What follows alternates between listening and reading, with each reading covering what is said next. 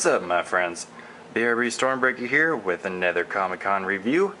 This one, this one was too big to put on the table. Background wasn't big enough, so here we go. Star Wars Revenge of the Jedi. Vintage Collection. The Death Star. And inside is 14 action figures, which I will show you when we open it. So, let's check this thing out.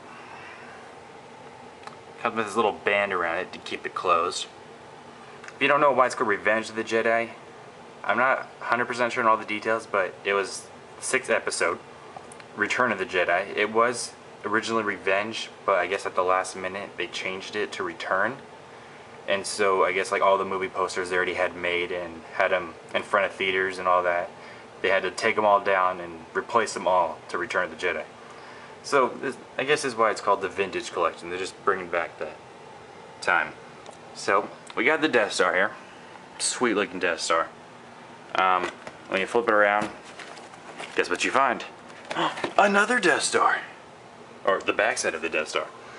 Now, if you see right here, this is all the stuff it comes with. You have Darth Vader, a B-Wing pilot, a Rebel Commando, a TIE Fighter pilot, Wicket, the Ewok, Admiral Ackbar, it's a trap, Boba Fett, Luke Skywalker, Princess Leia, R2-D2, Han Solo, Stormtrooper, a mouse droid, and the person I hate, not as much as Jar Jar, but I hate him, it's Salacious Crumb. Guy freaks me out. Alright, so let's open this baby up and see what's inside. Wow. To you Star Wars fans, you're probably drooling right now, so wipe that drool off your mouth. This is awesome. I mean, it's it's huge. It's a huge Death Star, and inside is action figures. I mean, what more do you want? A giant destructive weapon that can destroy planets, and action figures inside. I mean, it's two for one deal. So you got seven on this side, seven on that side, of course. Now, you see this one? You have Luke Cage. Or Luke Cage. Getting Marvel confused with this. Luke Skywalker. right there. You got Stormtroopers. The Rebel Commando. You got your B-Wing pilot. Your mouse droid right there. He's black, so it's kind of hard to see on a black background. Darth Vader. And he's black as well, so sorry if you can't see him that well. R2-D2.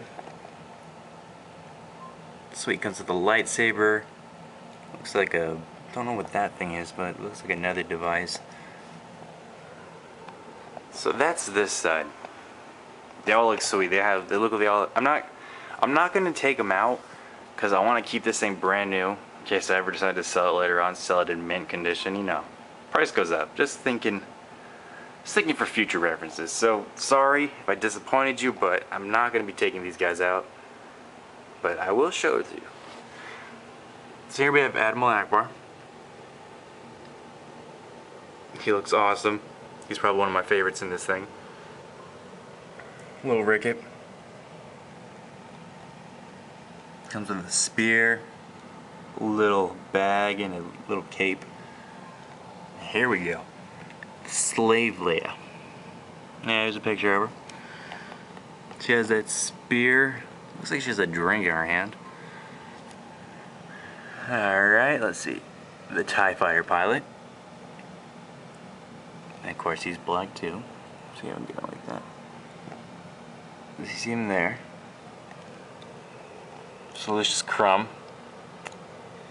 Gosh, I don't know why they made him so weird looking. I mean, just look at that face. Look at his eyes. It's like they stare into your soul. It's just weird.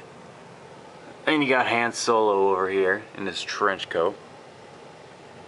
And here's my favorite one out of all of them. Boba Fett.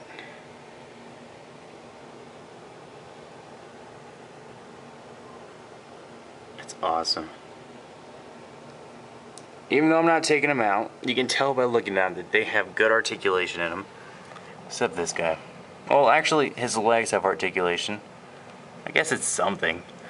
Um, but you look at Boba Fett, you see his arms, they have articulation. I'm guessing their heads move. I don't know why they wouldn't.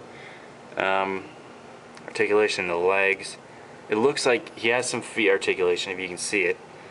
Um, let's go over here. Yeah, Stormtrooper's got it. Luke Skywalker has articulation. R2D2 has articulation on his head. I'm, all R2D2s, their heads spin, so I'm guessing this one, his head can move too. But his arms can move. Everybody has articulation in this thing. Um, if you love Star Wars, you would love this thing. I mean, it is a sweet thing to have. It's just like, it's a great collector's piece. If you, you would love to have this, if you love Star Wars. If you love action figures, if you love anything like this. It's a great piece to have. I recommend it. It was pricey though, but I think it was worth it. What was it like a hundred and thirty dollars for 14 action figures? So like, what is it? Less than 10 bucks a thing. Eh, it's a good deal because that's kind of how much they sell for in stores, but Comic Con exclusive makes the price go up on it later on. So, this has been my Death Star review. Hope you enjoyed it. BR, this is BR Stormbreaker, and have a nice day.